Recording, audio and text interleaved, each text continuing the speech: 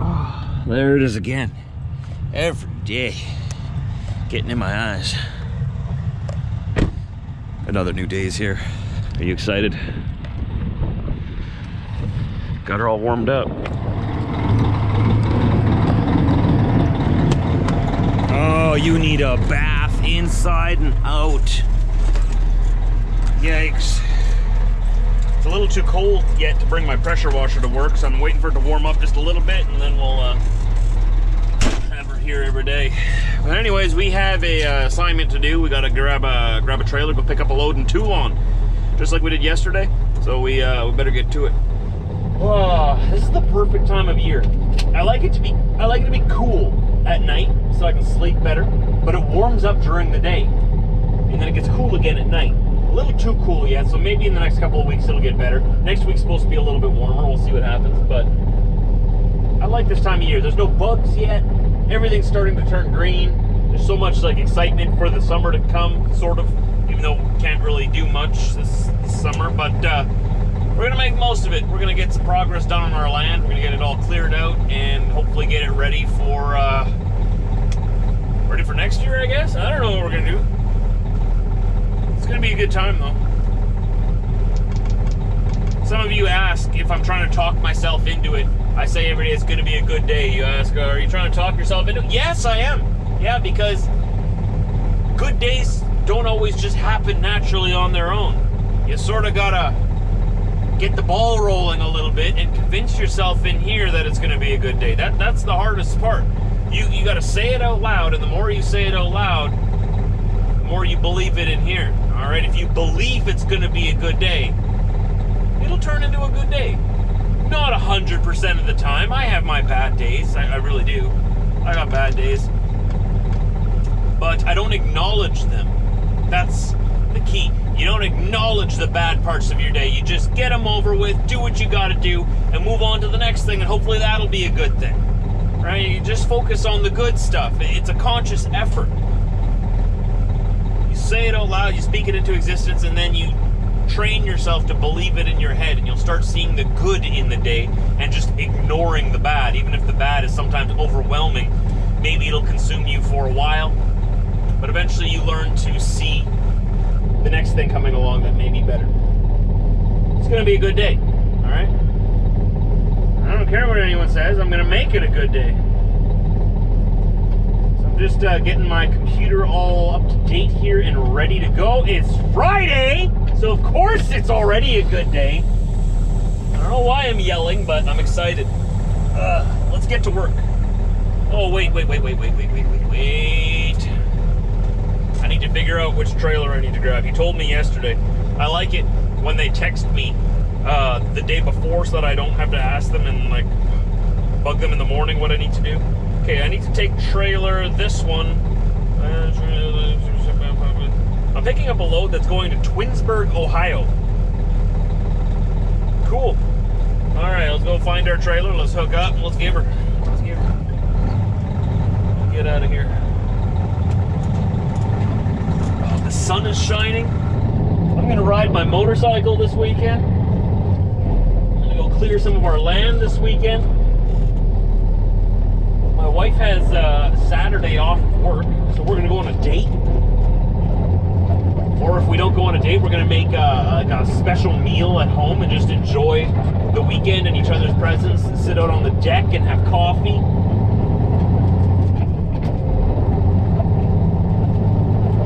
It's gonna be good.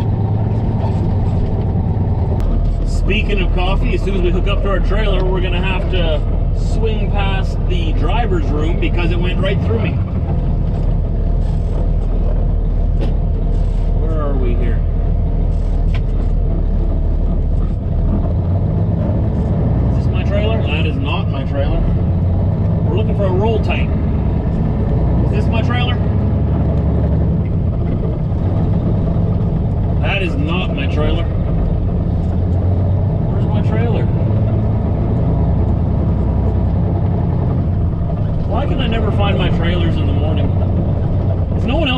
because they're usually here. I just have to circle the lot like five times before I see it.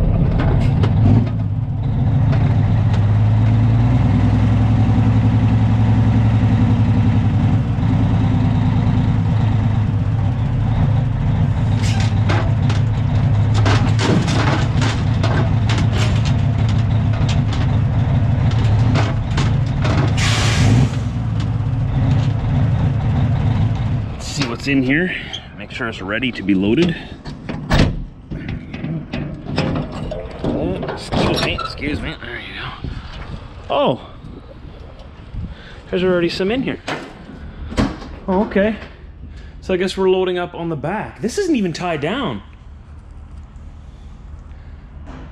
Okay, so uh, I've got to tie this down first. Good thing I checked, right? You always check your trailer. The trailer is in the loaded lineup, so that was my first clue that there might be something in it already. I'm just going to confirm that that's supposed to be in there. That'll have enough room for whatever I'm picking up. Then I've got to open this whole cover, tie that stuff down, and then head up to Teulon. So, got some stuff to do. Gotta go grab a different trailer, and we'll have to move this freight onto uh, that trailer because it's all supposed to go together. Quickly show you here. Uh-oh. Big tear in the roof. Can't send it out like that. So this trailer is out of service. I also see a little hole in the side there. Someone was pretty rough on this. And some of the bars are collapsing up there, so the yard guys are gonna take care of moving this freight onto a different trailer. I've got to go grab another trailer and go get this other freight. Does that make sense? And hopefully that trailer isn't full of holes. Oh, we're gonna continue with our daily routine here and say hi to Wilbert and Sally and all their friends and cousins.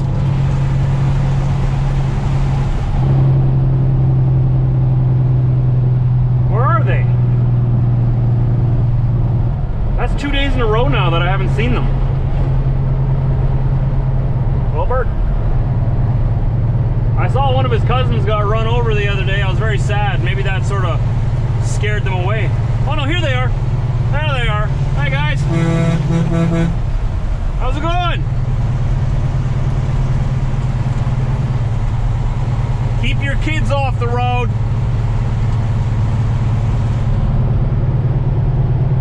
Nice guys. Nice guys. They mean well.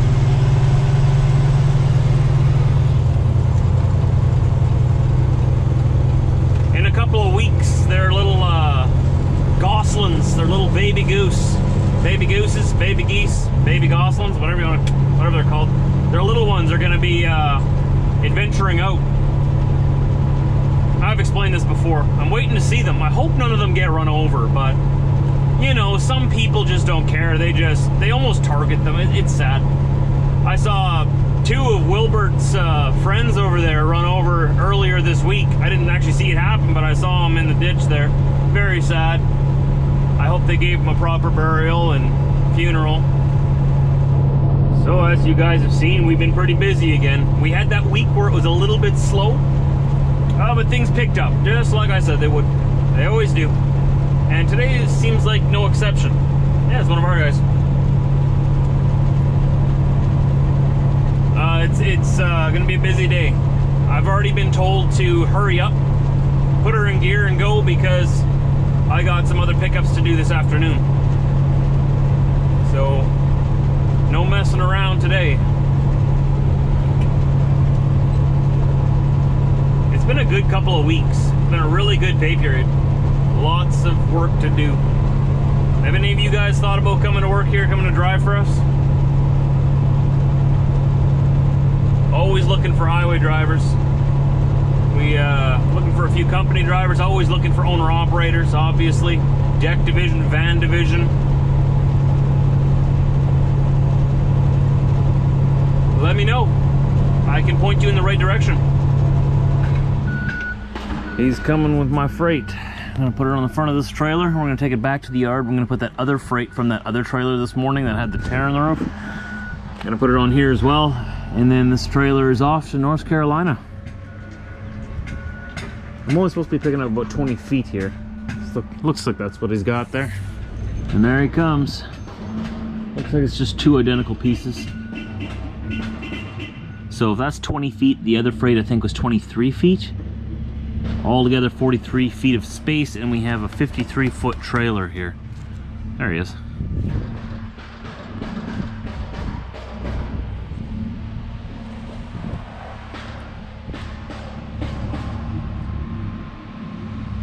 way up there.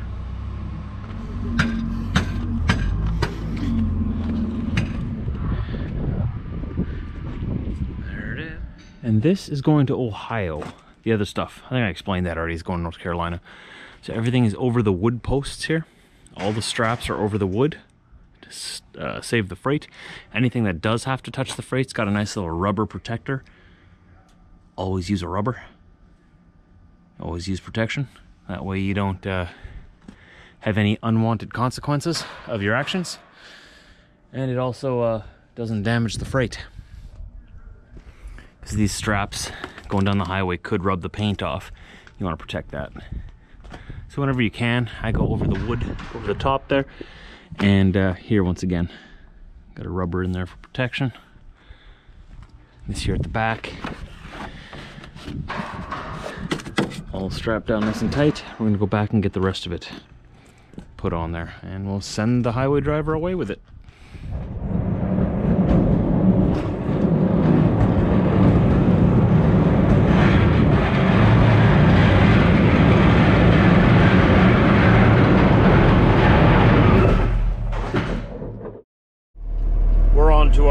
next assignment, our next mission. We're on van division this afternoon, or at least for the time being, so lucky us. A little bit of a break from tying down stuff. Or take this box into Winnipeg. Somebody needs it there. I found a switch and I don't know what it does. Have you guys seen this in trailers before? Check this out, there's a switch here.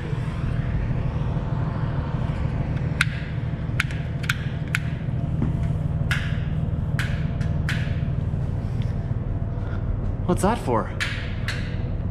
I thought it would be for lights, you know, but there's no lights in here. Interesting. If you guys know what that's for, let me know down below. Uh, how about you just make up something that that switch is for? It's got to be realistic, okay? What do you think that switch is for? Just let me know. All of your ideas. You know what? Scrap the realistic part.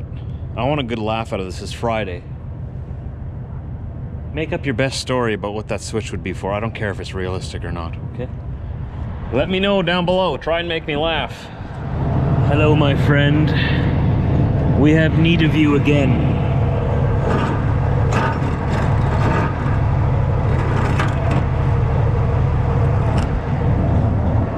Come with me.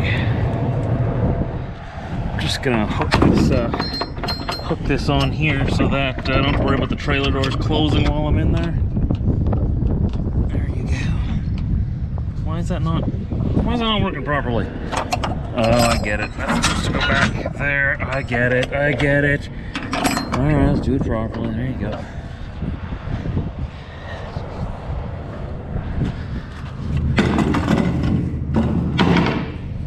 You may have thought at a quick glance the trailer was clean before, right? Well, just a quick sweep, nothing too fancy, just a quick sweep, and we got all of this gathered up that was left in here by uh, by by someone. This guy in front of me has got at least like 50 bumper stickers. How many bumper stickers do you need? How to devalue your car 101 how much work it's going to be to take all of those off if you ever want to sell it. And it looks ugly. I don't know, I'm not a fan of bumper stickers. I am not a bumper sticker guy. I like everything to be clean. You know?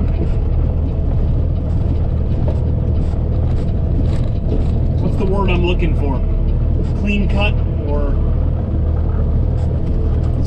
straight edge? That's not the word either no markings, nothing to stand out too much. You want to stand out a little bit, not too much, just clean and slick. Straight edges. I don't know what I'm trying to say.